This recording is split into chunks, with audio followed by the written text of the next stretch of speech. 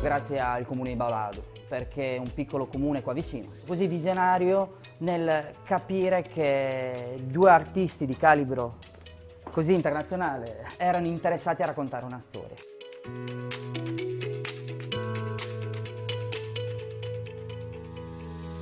In qualche modo attiriamo un po' l'attenzione anche del pubblico perché in uno scenario dove iniziamo dove non c'erano figure, le figure si iniziano a imporre un po' nel paesaggio urbano e questo tipo di stencil viene realizzato unicamente eh, da poche persone.